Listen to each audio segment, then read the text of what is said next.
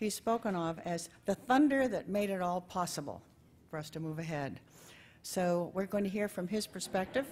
And here comes the now. thunder we were expecting all day. My goodness. Let me. well, I hope I won't surprise you by saying that um, we come at this with an enormous amount of humility. Um, we're newbies, and this is a complex field. And I want to make sure you understand what we understand, is that you've been at this a long time.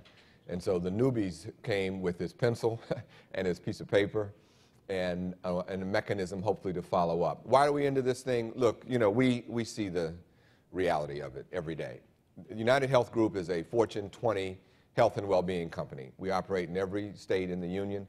We touch, in one way or another, 70 million Americans, 650,000 physicians, 5,000 hospitals. We are in, in it, deep.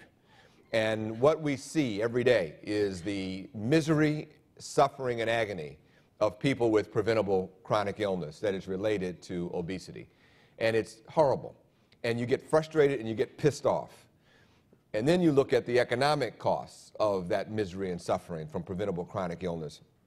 And we just commissioned, one of the things we do every year with our colleagues at the American Public Health Association and the Partnership for Prevention, we, we, we produce something called the America's Health Rankings, which is a comprehensive assessment of the health of the nation based on a state-by-state analysis. And it's a comprehensive set of, of factors, everything from high school education, childhood poverty, to cardiovascular death rates, to the immunization rates of children, and so forth and so on. It's a big, comprehensive view. It's the single most important news story of the day whenever we release it, and it gets lots of legs. This year, and we report it, we focused on obesity, and we commissioned a study that told us that if the current